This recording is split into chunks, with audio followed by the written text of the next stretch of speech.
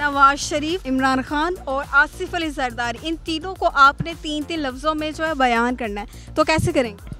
आसिफ जरदारी और नवाज़ शरीफ के लिए तो इतने ज़्यादा अल्फाज ही नहीं है कि इंसान बोले। इमरान खान के लिए है कि बहुत अच्छा इंसान है वो। जरदारी साहब। करप्शन करप्शन झूठे मक्कार है। नवाज़ शरीफ। वो भी सारी सेम सेम अच्छा ईमानदार किसके लिए? इमरान खान। और चोर? नवाज़ शरीफ। और डाकू? जरदारी नवाज़ शरीफ चोर करप्ट और कमीशन माफिया और जरदारी टेन परसेंट और मर्डरर और लैंड ग्रैबर और इमरान खान विजनरी लीडर और मोटिवेशनल स्पीकर। इमरान खान है वो बब्बर शेर है। सरदारी साहब के लिए तीन लफ्ज। ऐसे फजूल बंदों के लिए मेरे ख्याल कमेंट्स करना बेहतर नहीं है मेरा ख्याल है। नवाज़ शरीफ के लिए। चोर चोर चोर बस। मैं तो इमरान खान को पसंद नहीं करता। नवाज़ शरीफ बहुत अच्छे इंसान है। ठीक है। हाँ जी। और उन पे इल्ज़ाम लगे हुए हैं कि वो चोर हैं ये हैं वो है। वालेकुम नाजरीन उर्दू वायरल के साथ मैं हूँ आपकी होस्ट राबिया अली। और आज का जो मेरा सवाल है वो ये है कि इमरान खान आसिफ अली जरदारी और नवाज़ शरीफ को तीन तीन लफ्ज़ों में जो है बयान करना है। अवाम से पूछेंगे वो किस तरह बयान करेंगे। चलिए अपने प्रोग्राम का आगाज़ करते हैं। अस्सलाम वालेकुम। वालेकुम अस्सलाम। क्या नाम है आपका? हफ्सा गजनफर हफ्सा। शॉपिंग करने आई है? जी। कैसी रही शॉपिंग? अच्छी रही और महँगाई भी बहुत ज़्यादा शोहर की। बहुत ज़्यादा वो तो कह रहे हैं बहुत बुरा हाल है लेकिन अब क्या करें चीज़ें भी लेनी है। तो नवाज़ शरीफ इमरान खान और आसिफ अली जरदारी इन तीनों को आपने तीन तीन लफ्ज़ों में जो है बयान करना है तो कैसे करेंगे? आसिफ जरदारी और दूसरा कौन है? नवाज़ शरीफ और इमरान खान। आसिफ जरदारी और नवाज़ शरीफ के लिए तो इतने ज़्यादा अल्फाज ही नहीं है कि इंसान बोले। बस सब क्या बोलें अब हम लोग भी। लेकिन इमरान खान के लिए है कि बहुत अच्छा इंसान है वो एक और वो, और वो हमारे लिए उन्होंने जो भी एफर्ट्स हैं उनकी वो हम लोगों के लिए या आवाम के लिए। अपने लिए उनका कुछ भी नहीं है। अगर उनको कोई फंडिंग वगैरह या जो कुछ भी होता है वो सब कुछ अपनी आवाम के लिए वो यूज़ करते हैं चाहे वो हॉस्पिटल्स हो यूनिवर्सिटीज़ हो और भी डिफरेंट सेल बता रहे हैं सिर्फ़ तीन लफ्ज़ों में। सिर्फ़ एक बहुत अच्छा इंसान है वो। दूसरा वो अगर अपनी आवाम का एहसास करता है और तीसरा वो झूठा नहीं है करप्ट नहीं है। और जरदारी साहब? करप्शन करप्शन झूठे मक्कार हैं। इनके लिए तो जितनी गालियाँ सारी गालियाँ इन इसी इन्हीं में डाल देना। बस।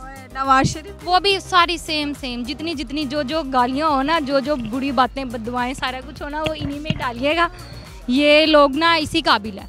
ये तारीफ़ के या कोई ये इंसान ही नहीं ये खुद भी इंसान नहीं है और ये दूसरे बंदे को भी इंसान नहीं समझते हैं। खुद भी गधे हैं ये और दूसरों को भी जानवर समझते हैं ये। गुस्सा? हाँ जी क्योंकि हमें पता चल गया शॉपिंग करते हुए बच्चे दो हैं हम लोगों को पता है जितना मुश्किल हो रहा है। ये तीन चार महीनों में इतनी ज़्यादा महँगाई हो गई हुई है कि बुरा हाल हुआ हुआ है। तो जब इमरान खान था तब ठीक था रिलीफ था? तब भी थी लेकिन रिलीफ था और ये पता था कि अगर महँगाई है हमारे पैसे कहीं लग रहे हैं। किसी चीज़ में हमारे काम आएँगे या आगे हमारे बच्चों अब हमें पता है ये तो खा पी के लंदन ले जाएँगे पैसे। हमारे किस काम आएँगे ये पैसे? इसीलिए हमें गुस्सा है। वरना कोई इतनी भी बात नहीं है कि ये पैसा महँगाई तो इमरान खान के दौर में भी थी।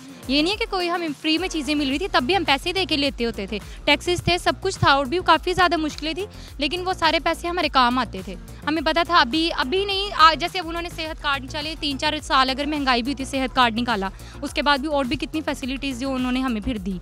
इन्होंने क्या किया? जो कुछ था इन्होंने वो भी ले लिया हमारे से।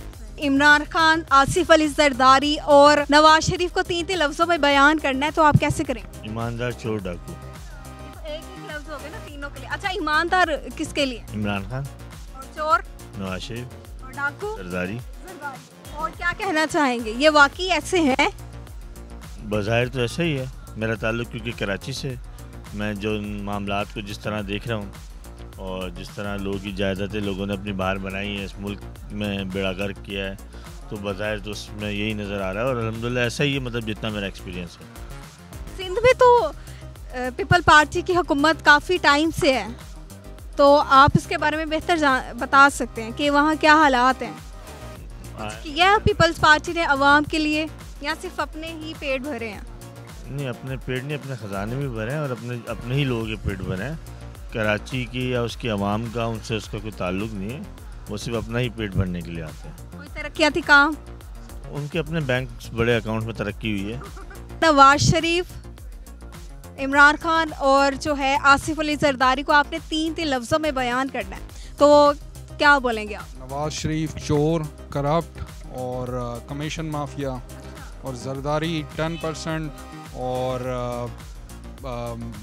मर्डरर और लैंड ग्रैबर और इमरान खान विजनरी लीडर और मोटिवेशनल स्पीकर इमरान खान को पसंद करते हैं जरदारी साहब को पसंद करते हैं या नवाज़ शरीफ को पसंद करते हैं? मेरा ख्याल है पूरी दुनिया इमरान खान को ही पसंद करती है अब। अगर तो दुनिया का नहीं आपसे पूछे आपका दिल किससे तो हूँ मैं तो दिल और जान से इमरान खान के साथ हूँ। हाँ। चलो ये तो बहुत अच्छी बात होगी। फिर मुझे बताएँ इमरान खान की तीन इमरान खान को तीन लफ्ज़ों में बयान करें और आसिफ अली जरदारी को और नवाज़ शरीफ को तीन लफ्ज़ों में बयान करें इमरान खान जो हैं ना कि इमरान खान जो है ना वो जो नवाज़ शरीफ है वो कहता है मैं शेर हूँ। तो इमरान खान है वो बब्बर शेर है। ठीक है ना? हो हाँ और दूसरा वो कौम के साथ अपने मुल्क के साथ ओनेस्ट है। फेयर है। ठीक है? और उसके बाद जो है ना वो पाकिस्तान से जैसे ये नवाज़ शरीफ शबाज शरीफ ये सारे भाग जाते हैं जब टाइम आता है टफ़ टाइम कभी भी आया अपने ऊपर या कौम पे। ये लंदन भागते हैं अमेरिका कनाडा चले जाते हैं ठीक है? वहाँ पे इनकी प्रॉपर्टियाँ सब कुछ है। तो वो तो भागने वाला नहीं क्योंकि उसका तो कुछ भी नहीं है बाहर। उनका जीना मरना पाकिस्तान में है ठीक है? और जरदारी साहब के लिए तीन लफ्ज़। ऐसे फजूल बंदों के लिए मेरे ख्याल कमेंट्स करना बेहतर नहीं है मेरा ख्याल है। कोई लफ्ज़ ही नहीं है। तो नवाज़ शरीफ के लिए? नवाज़ शरीफ तो ये सब जैसे मेरा ख्याल आपको भी पता है सबको पता है पाकिस्तानी अवाम को चोर। चोर चोर चोर बस एक ही। छोड़ छोड़ चोर बंदे को चोर ही कहेंगे ना। उसने आज तक क्या किया है? सिवाय करप्शन के सिवाय इसको जो है ना पाकिस्तान को बदनाम करने का अपना माल लिस्ट देख लें कितने मतलब उसके स्कैंडल निकले हुए हैं तो हर जगह मतलब पाकिस्तान का जो उसने बदनामी की है कोई अच्छा रिएक्शन नहीं कहीं पे भी आप जाए हम बाहर जाते हैं। पाकिस्तानियों को कितनी रिस्पेक्ट मिलती है। अब जब पाकिस्तान में हुकूमत थी इमरान खान की हर बंदा को रिस्पेक्ट मिल रही थी मतलब जहाँ पे भी जाता था। मैं खुद बाहर था नवाज़ शरीफ का टाइम था कोई रिस्पेक्ट नहीं थी ठीक है? जो उसके बाद इमरान खान की हुकूमत आई है लोग बाहर से उसको जो है ना वो वोट डालने के लिए आए। मेरे अपने रिलेटिव भी हैं ठीक है? बहुत सारे। तो इमरान खान रिस्पेक्ट जो बाहर आपको मिली वो किस तरह की रिस्पेक्ट थी? रिस्पेक्ट इस तरह से होती है। अब देखें हम बाहर जाते हैं ना यहाँ पे तो हम कहते हैं ना ये हम पंजाबी हैं सिंधी हैं ये हमारी कौमें हैं। बाहर जाके बाहर जाके हम पाकिस्तानी होते हैं। पाकिस्तान के लिए कोई भी कुछ बोलता है ना आप सुन नहीं सकते उसे। ठीक है ना? तो वहाँ पे जाके फीलिंग्स और हर चीज़ चेंज होती है बंदे की। तो मेरा ख्याल है पाकिस्तान की जो रिस्पेक्ट है वो एक ऐसे बंदे की जी एक इमेज और एक जो रिस्पेक्ट हमको मिलेगी। वो ऐसे बंदे से मिलेगी जैसे इमरान खान है। फेयर बंदा होता है ना वो उसकी वजह से रिस्पेक्ट मिलती है आपको। ये बताएँ कि इमरान खान आसिफ अली जरदारी और नवाज़ शरीफ को तीन तीन लफ्ज़ों में आप किस तरह बयान करेंगे? तीनों के लिए तीन लफ्ज़। तीनों के लिए तीन लफ्ज़। मैं तो इमरान खान को पसंद नहीं करता। ठीक है।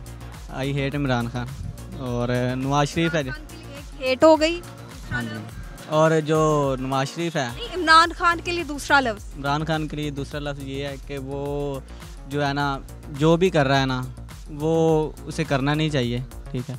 बाकी कुछ लोग कहते हैं कि वो अच्छा कर रहा है। मुझे नहीं लगता कि वो अच्छा कर रहा है। और तीसरी बात ये है कि इन्हें अवाम के बारे में सोचना चाहिए। ये अपने बारे में लगे हुए हैं ठीक है? और आसिफ अली जरदारी के बारे में? आसिफ अल जरदारी जो वो से मैं तो किसी का सपोर्टर नहीं हूँ ठीक है मैम? पसंद। तो कौन पसंद है? कोई लड़की पसंद? अल्लाह पाक की ज़ात। लड़की पे कैसी स्माइल नहीं लड़की पे आपने कहा तो वैसे जो पसंद है ना अल्लाह पाक है जो हमें वो रिजक दे रहा है अल्लाह तो अल्लाह पाक तो सबको ही पसंद होता है। तो बाकी ये कर रहे हैं ना ये जो नाइंसाफ़ी कर रहे हैं हुकूमत जो हमारी है ना ये हमें कुछ नहीं करने दे अच्छा तो शहबा नवाज़ शरीफ के बारे में क्या बोलेंगे? तीन लफ्ज़। नवाज़ शरीफ बहुत अच्छे इंसान है ठीक है। हाँ जी।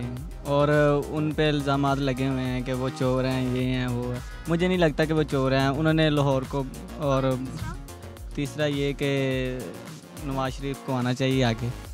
और उससे अच्छा वो लंदन से लाहौर नहीं आ रहे पाकिस्तान में नहीं आ रहे। तो आप कैसे बुलाएँगे? तो उसे ये जो मेरी बात वही है कि जो हुकूमत है ना हमारी। वो बीमार ज़्यादा है इस वजह से नहीं आ रहे क्या वजह है यहाँ हुकूमत से डर गए हैं। नहीं हुकूमत से तो नहीं डरे बाकी बीमार है जब वो सेहत याब हाँ। जी वो आएँगे ज़रूर। तो मैं मेरी यही दुआ है कि लगता है पाकिस्तान में इनका इलाज नहीं हो सकता? वो तस्वीरों से लगता है वो बीमार है? हो सकता है। बाकी जो इधर रह के फिर वो हुकूमत के बारे में सोचें आवाम के बारे में सोचें या अपनी बीमारी के बारे में सोचें तो इसलिए वो हाँ। जी। ज़्यादा टेंशन तो इसलिए वो उधर ईजी है मेरे ख्याल से। तो नाजरीन, आपने अवाम के मुनफरी जवाब जाने हैं। मजीद इसी तरह की वीडियो देखने के लिए हमारे चैनल को लाइक कीजिएगा सब्सक्राइब कीजिएगा। अल्लाह निगेबान